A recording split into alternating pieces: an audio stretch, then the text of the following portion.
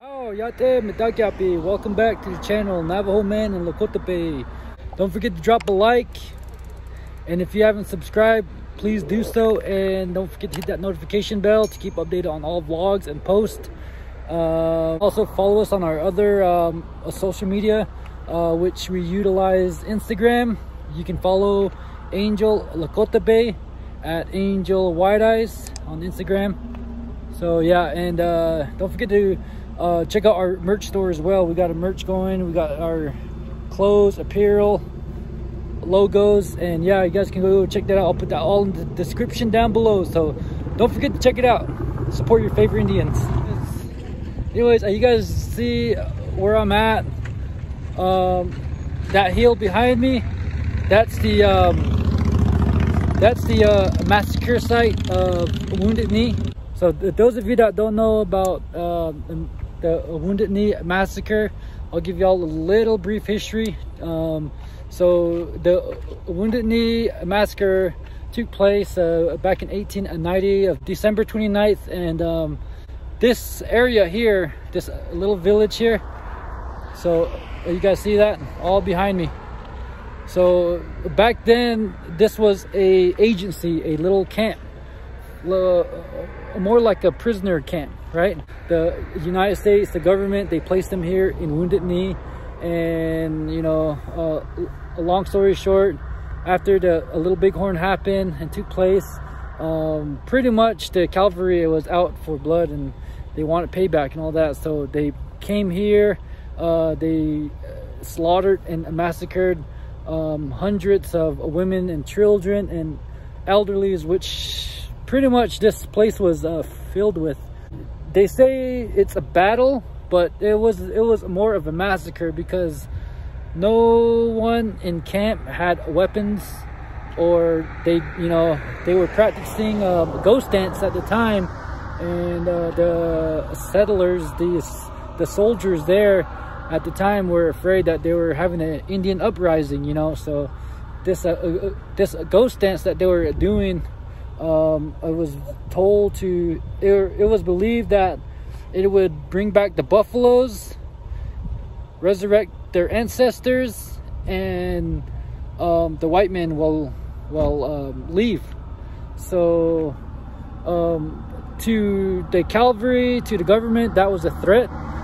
Um, you know they were afraid that it was be an indian uprising so they ended up um, stopping that here so this area here has a history it was it was a massacre site at one point after the massacre all the um, women and children and um, those that were slaughtered the elderlies they were all on the ground they just bunched them up on wagons and threw them in a mass grave up on that hilltop. So with that being said, um, you guys see us, we're all gathered here. You guys want to know what's happening. Um, we are, so we're gathered here um, in remembrance of the Wounded Knee um, victims. Uh, there's a lot of, uh, um, there's a lot of relatives that have um, connection through their relatives from way back then that are writing for them. Um, so this is on behalf of them. They're going to remember their ancestors in this way. So, this event is also dedicated to um, Grandpa Roger's uh, mom, uh, Grandma Cissy. So they're going to dedicate this run for her as well.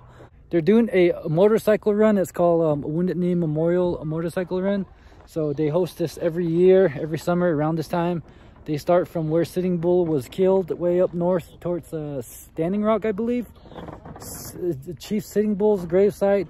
And then they start to make their way, their journey down and come all the way down to Wounded Knee. So that's why we're going to be gathering here. We're waiting now.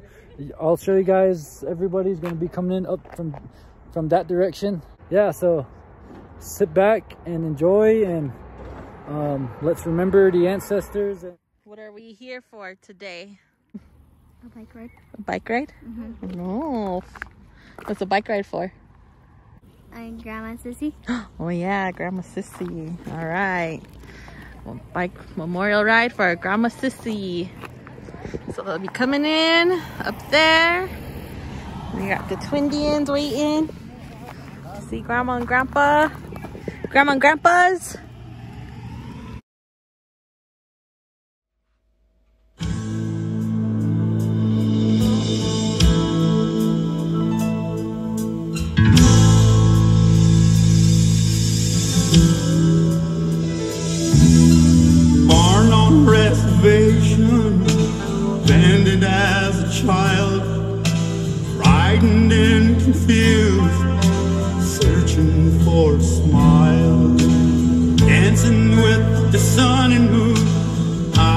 Just 15. I gave my heart to the sacred tree. Eagle Bear is proud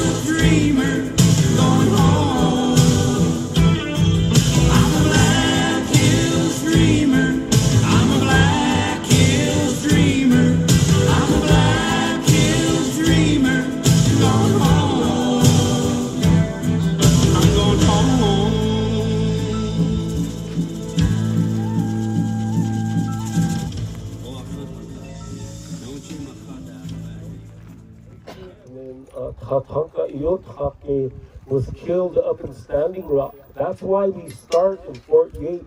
A lot of people don't know that, but that's why the ride starts up there because it wasn't just about Wounded Knee. This is where it ended, was right here. Our Hunkpapa relatives went south to um, Spotted Elks tribe, his Kioshpaye, to get help and Spotted Elk came here to get help from Red Cloud because they took his horses. Everybody was ghost dancing, and that that's kind of what was the cause of it. It wasn't just the Lakota; it was the Arapahoes, the Utes, everybody, all the natives in in this uh, Turtle Island. they were all trying to ghost dance because it was a time when our people were feeling hopeless because the Washitus, the white man came and they took over all our land. And so all the people were looking for something different and, and they, they thought when Wovoka, a Paiute, had a dream, if, if we did this dance, then all our relatives in the spirit world would come back. And so Lakotas, Arapahoes, they were all converging in the Badlands. And, and the Washitus who start taking over this area were scared because all the Indians were coming together, just like we are now. They're probably afraid of us for what we're doing up here. Because when you look around, there's a lot of us gathered on these iron horses to remember these ancestors who were buried here. And so at that time, they called in the military. They called them in to, to uh, kind of rope us in to keep us under control. And so when Spotted Elk came down here to talk to Red Cloud, um, they captured him. Well, you heard the story from the survivors at um, Bridger this morning, but they found him five miles up the road. I don't know if you guys remember seeing that sign. It said Bigfoot surrenders. And Bigfoot was a derogatory name for him. That's what the Washitus called him. But his name was Spotted Elk. And that's what his people called him. And so they, they captured him up, up five miles up the road and they brought him down to that open field over there on the other side of the road. And that's and that's where they disarmed them. They went in, they set up their teepees, and then and then the um, Seventh Cavalry, and you're all familiar with that because we, Ogalala, Sichangu, Hunkpapa, um, Hohoju, we, we wiped out the Seventh Cavalry at the Little Bighorn. And so they were the ones that came down here and they were getting revenge. They were getting revenge for taking out Custer at the Little Bighorn. And what they did is they disarmed all the all the Lakotas over there, all the spotted elk and some of the Hunkpapas that that were camped down there. They they surrounded them. They put a howitzer, which is a big. It was like at that time it was the biggest um, weapon of mass destruction that the military had. And they had one set up on a hill up there and a hill up there, and I think that hill they had them surrounded and they were aimed towards the camp. And so when they disarmed them, they disarmed all the Indians, all the Lakotas down there. There was this one Nakcha guy. In our, in our language, Nakcha means he was deaf, he couldn't talk. And they tried to take his gun from him. He had it hidden under his robe, under his blanket. And when they tried to take, he couldn't understand what they were saying, but they were trying to take his gun. And, and they said when they were trying to take his gun from him, that then it went off and that's what caused the military to just unload all their weapons down in that camp. And they didn't just kill Lakotas, they killed their own um, cavalry soldiers were killed at that time. And so when that firefight started and they start shooting as howitzers, it was just blowing up teepees and, and, it was uh, chaos. So a lot of the people took off for the cricks and the cavalry chased them down and they, they gunned them down.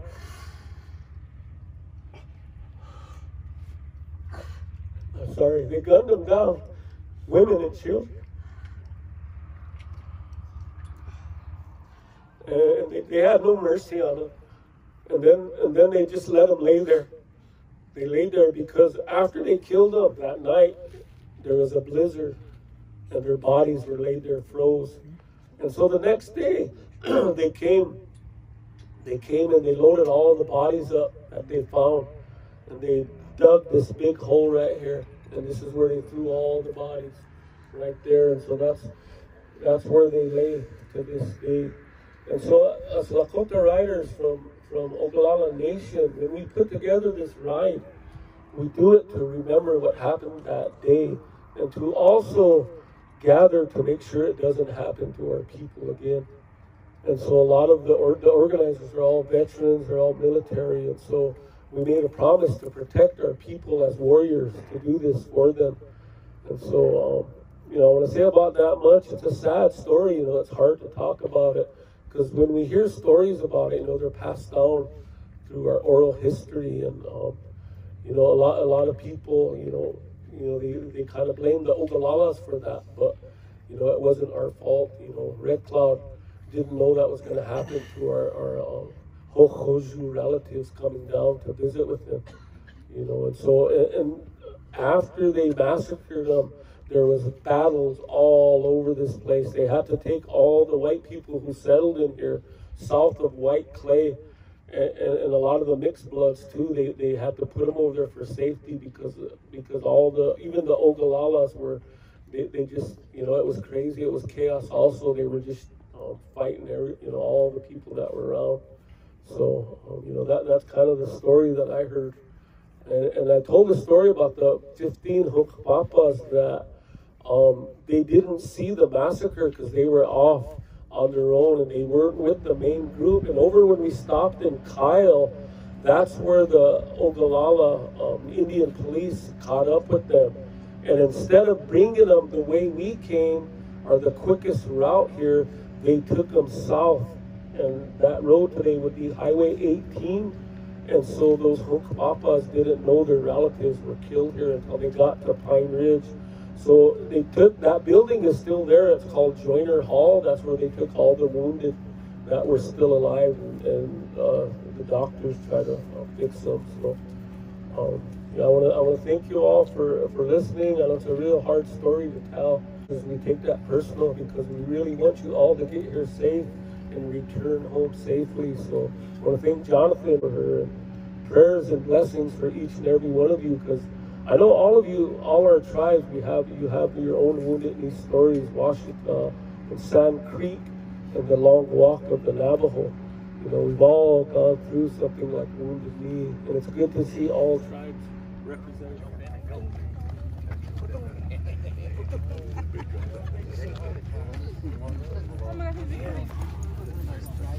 Oh,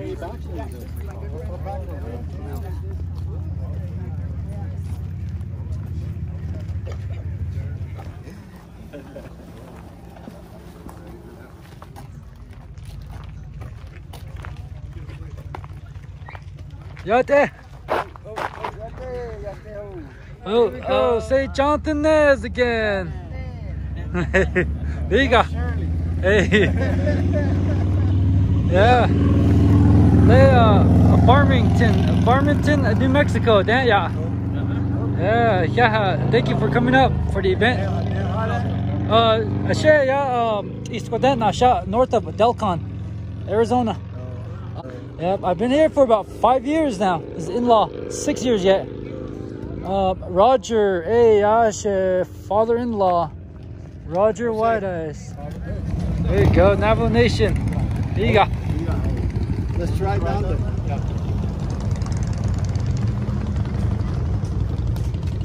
Damn.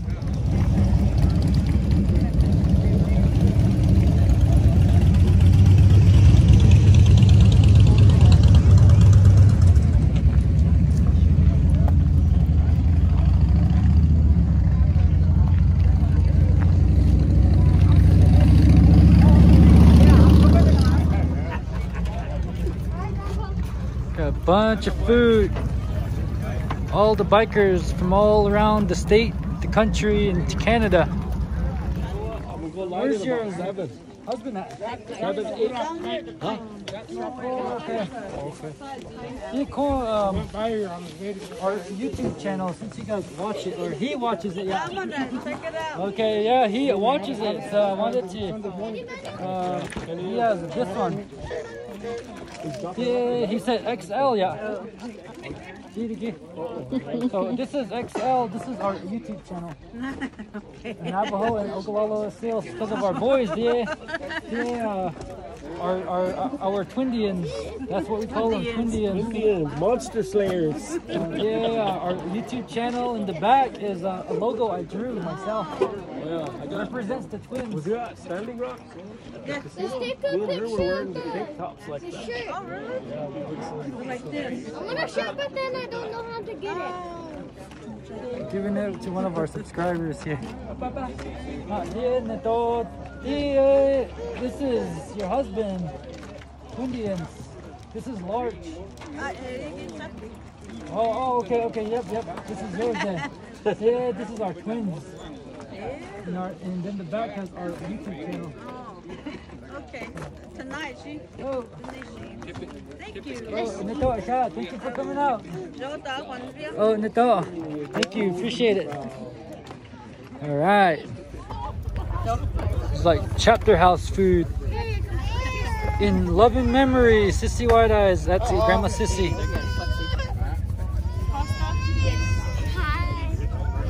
Roger, bit man, yeah.